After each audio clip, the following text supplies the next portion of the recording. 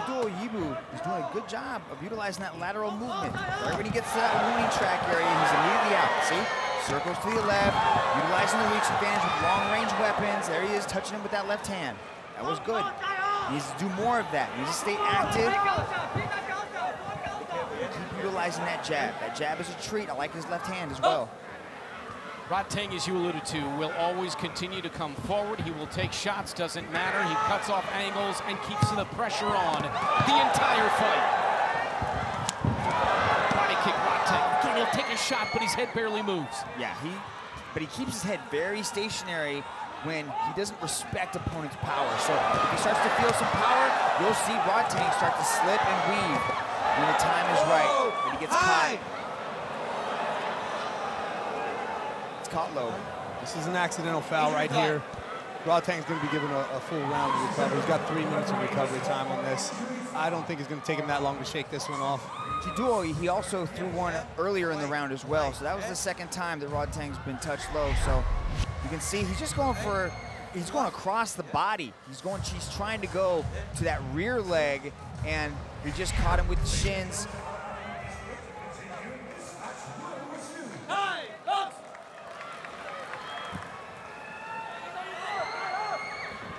To action here as they trade in the center of the one circle here in Bangkok. Heavy shots from Rodtang. Yibu with his back against the fence. And then a body kick from Rodtang. You saw Yibu come back off of that. You see, Rodtang's got this volume. This is just what he's doing. He's bullying Yibu around, putting him on the circle fence right there. Yibu's doing a good job of at least countering back. He landed that head kick, but Rodtang just smacked himself in the jaw and said, bring more of it. Rodtang, the ultimate showman. You saw that on the walkout, but he'll do it in the circle as well. Digging at the body of Yibu. Yeah, he's, Yibu's got to move. Yibu landed two right hands there, but he's backing up as he's doing it, and there, there's not a ton of power into it. This is the problem with someone like Rodtang when he's constantly moving forward. He's not recklessly moving forward. He's moving forward with shots, with power shots that'll hurt you. And so it doesn't give Yibu the opportunity to actually get off the way that he wants to with good power in his own shots. And he can't sit down into his punches, right? Every time he tries to sit down, he gets touched and put down at the same time. Knockdown for Rodtang here in round one. That's huge. Yibu was contesting that, looking at the referee like he thought he slipped. And when you have a weight miss, like Rodtang did, the only way to kind of erase that is to get a finish. And Rodtang is going for the finish. Front kick from Rodtang. Final 10 seconds, round one, straight right Rodtang. Big right hands. Rodtang ripping at the body of Yibu to close out the first round. Outstanding stuff from the champ. Yibu's cut over the right eye as well. It's on the outside. It shouldn't be a problem with vision or anything like that. I'm sure the doctor may come in between rounds here to check that out just to make sure it won't be problematic. Anatoly Malykhin, he will fight again for the heavyweight world title against Arjan Bhullar in Singapore, Friday, March 24th. This guy is not just outstanding in the one circle, but he is an outstanding personality. Oh, look at that left hook. Beautifully timed on Rodtang as he connected there, but that's when Yibu tried to go across the body and he connected low. Every time Jiduo Yibu is trying to throw something, Rodtang is just a step ahead and he's able to counter a little bit faster. Jiduo Yibu needs to change things up here in this second round. You know, Yibu against Puertas had moments where he was using head movement really well and slipping punches, and then moments where he shelled up. You can see that Rodtang's putting so much pressure on him that he's just starting to shell up as, as Rodtang comes forward, and he's gonna have to implement, difficult to do this, easier said than done, but implement some counter striking well, every movement that Rodtang makes is a forward step, right? So he's consistently covering distance. So Jiduo Yibu is on the back foot continuously, and he can't sit down to throw anything. Jiduo throws great combinations, but he's unable to do so because Rodtang's just not giving him that chance. Rodtang tenderizing the body of Yibu, who's also got blood coming down from the right side of his face. He comes with an uppercut and then a head kick, but Rodtang says, I can't feel it. This is that showman that we were talking about with Rodtang, man. I mean, there's the there's the entertainment aspect of what's going on here with the match because there's some beauty in the combinations, but there's beauty in that showmanship as well. Great body work from Rodtang and those hooks phenomenal, and then this straight right. But Jiduo Yibu is right there with him. He's Standing. not backing down. He's playing his own mind games. They're trading punches. One kick from Yibu.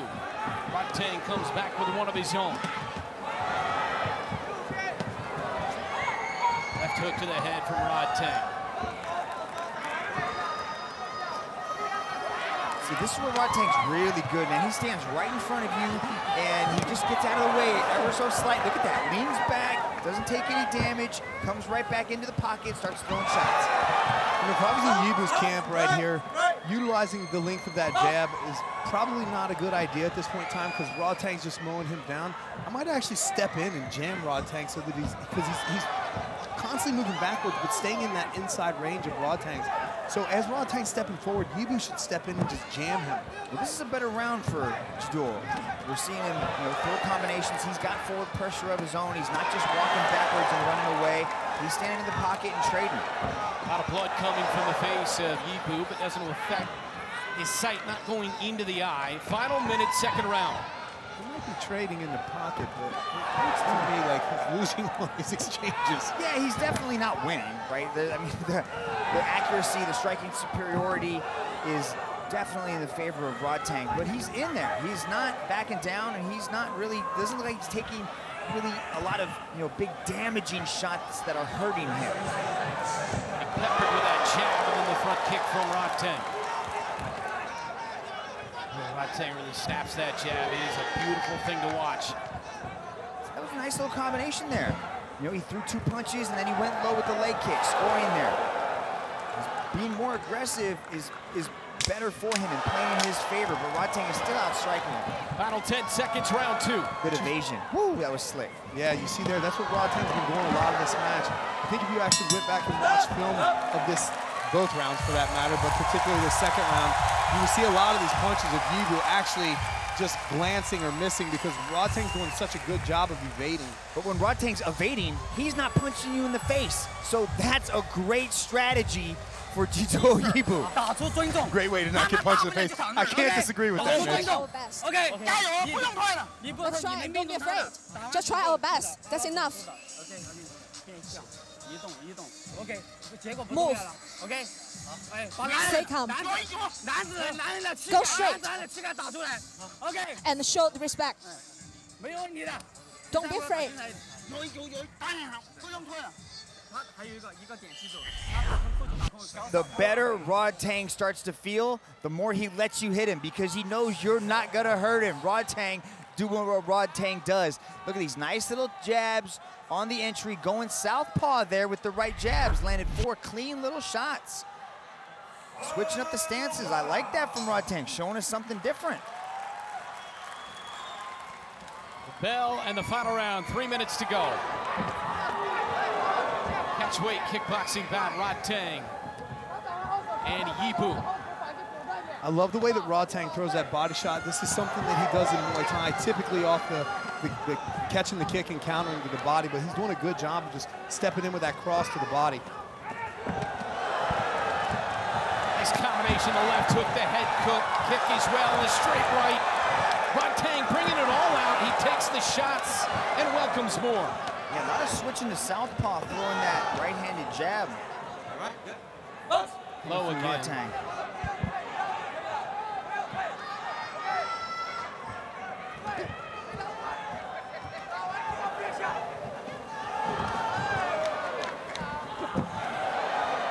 Short knee from Rodtang in the right.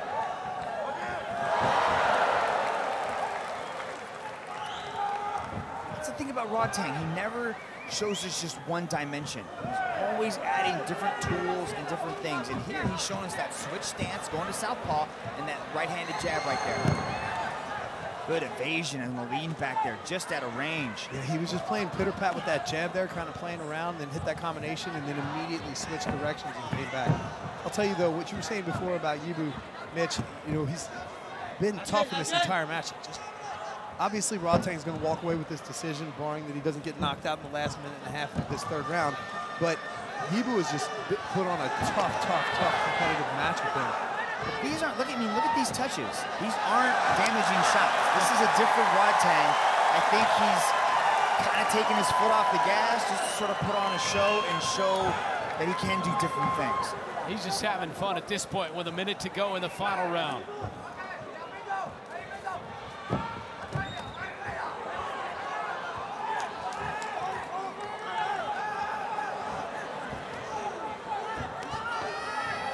Tang has been successful stepping in with that knee. The full arsenal on display for the champ here tonight.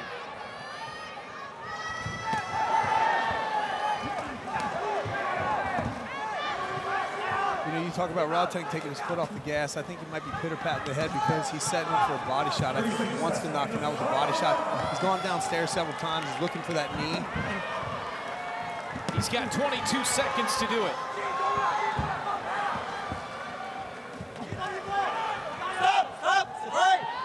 Continues to stand in and trade all the way to the finish here.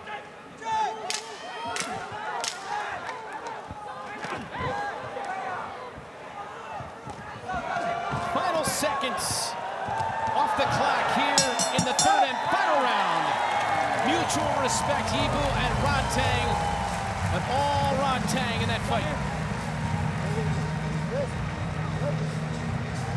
I'll tell you though, Brent, Yibu didn't back down. He even had a little showmanship of his own a couple times, particularly in that third round when Rodtang was landing punches. Not sure that was properly placed showmanship, but at least he was having fun in there as well. Serving as cut man here following the fight. Yibu didn't take a whole lot of damage, had that cut above the right eye, but Rodtang, it feels a little bit like this was a walk in the park for him. Yibu, certainly acquitted himself well, to your point. Yeah, I mean, you look when they clean Yibu up, he's got a little cut on the outside of the right eye, it's on a bone, and anytime you have a cut on a bone like that, the top of the head, the crown, or anything, it just looks like there's a lot more blood than there actually is. A few stitches to clean that cut up, but overall, when he's cleaned up, you can see that he's not terribly, terribly damaged.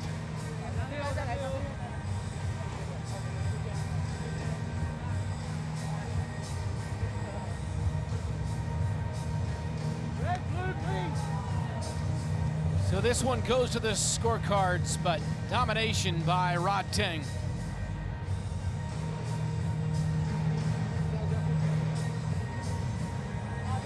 And with the official decision, here's Tom Lau. This match was presented to you by Monster Energy. And now, ladies and gentlemen, after three rounds of battle, we turn to the judges' scorecards.